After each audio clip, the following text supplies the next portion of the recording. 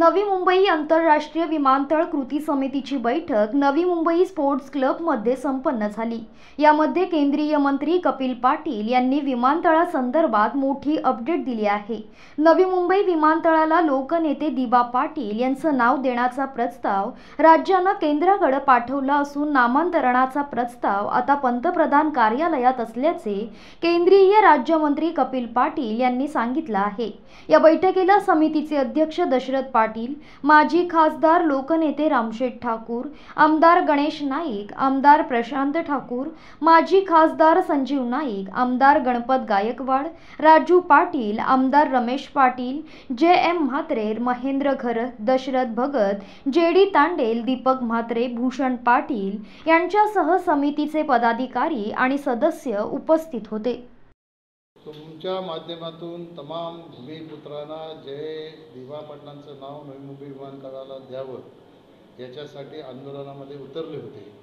आपल्या माध्यमातून या सगळ्या भूमिपुत्रांना मी माहिती देऊ इच्छितो की राज्य सरकारने विधानसभेमध्ये विधान परिषदेमध्ये जो दिवा पाटलांच्या नावाचा ठराव पास केला होता तो ठराव केंद्र सरकारकडे पाठवलेला आहे. एव्हिएशन मिनिस्ट्रीमध्ये तो ठराव गेला. चार दिवसापूर्वी माझ्या मंत्रालयाच्या एका अधिकाऱ्याला मी त्याच्या पाठीमागे लावलं. चार दिवसापूर्वी जी प्रोसिजर आहे एव्हिएशन मिनिस्ट्रीमधून ते पी एम ओमध्ये जाते. पी एम ओमधून पुन्हा एव्हिएशन मिनिस्ट्रीकडे येते पुन्हा होम मिनिस्ट्रीकडे जाते. होम मिनिस्ट्रीने मान्यता दिल्यानंतर त्याचं नोटिफिकेशन आता पी एम ओमध्ये चार दिवसापूर्वी हा प्रस्ताव गेलेला आहे. पी एम ओमधून काही क्विरी निघाली नाही. मान्यतेचं परत आलं की पुन्हा ते गृह मंत्रालयाकडे पाठवण्यात येईल. त्यांच्या मान्यतेनंतर त्याचं नोटिफिकेशन निघेल. राज्य सरकारने हा विषय मार्गी लावलेला आहे.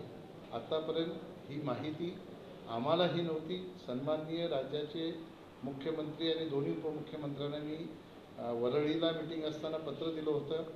त्यानंतर उपमुख्यमंत्री सन्माननीय देवेंद्र फडणवीस साहेब यांची माझी दिल्लीत भेट झाली. त्यांना मी हा विषय सांगितला. की दिवा पाटील यांच्या नावाचा ठराव अजून आपण केंद्र सरकारकडे पाठवलं नाही. त्यांच्याही नॉलेजमध्ये नव्हतं. त्यांनी माझ्यासमोर फोन लावला मुंबईला आणि त्यांना तिकडनं माहिती देण्यात आली की आपला प्रस्ताव केंद्र सरकारकडे गेलेला आहे. आणि मग मी त्या ठरावाच्या पाठीमागे लागलो. कुठे ते एव्हिएशन मिनिस्ट्रीमध्ये ते आलो होतं त्याची माहिती माझ्या दिल्लीतल्या माझ्या मंत्रालयाच्या माणसाने घेऊन ते पी एम ओमध्ये पोचवलं. आता पी एम ओमध्ये आहे.